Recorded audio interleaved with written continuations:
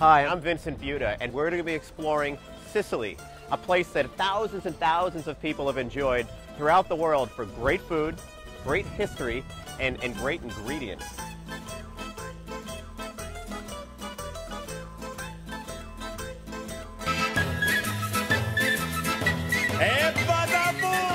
We're in the beautiful village of Castellammare. Castellammare is an old medieval village uh, set on the coast of Sicily where they do a lot of fishing. It's actually famous for fishing, but particularly tuna.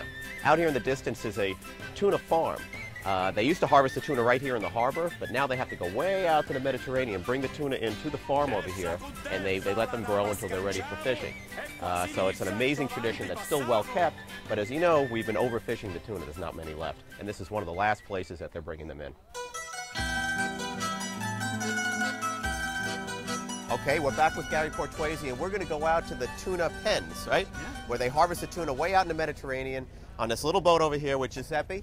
Okay. This is a farming environment, Okay. but um, they're actually raised in you know in natural water, not in, Got it. an artificial environment. So they get the tuna, the tuna put in these pens, they raise them in there till they're big enough to be uh, brought right. back for food. So what Pepe does, his job is actually go out there and feed the tuna so they can get nice and big.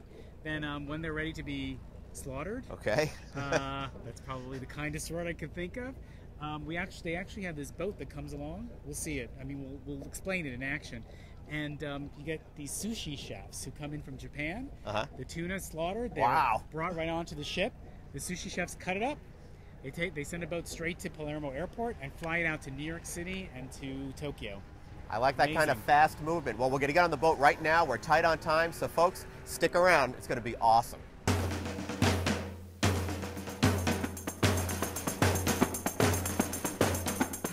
All right, Gary, we're out here at the, uh, the tuna pens where I understand there's about 8,000 tuna back here being grown.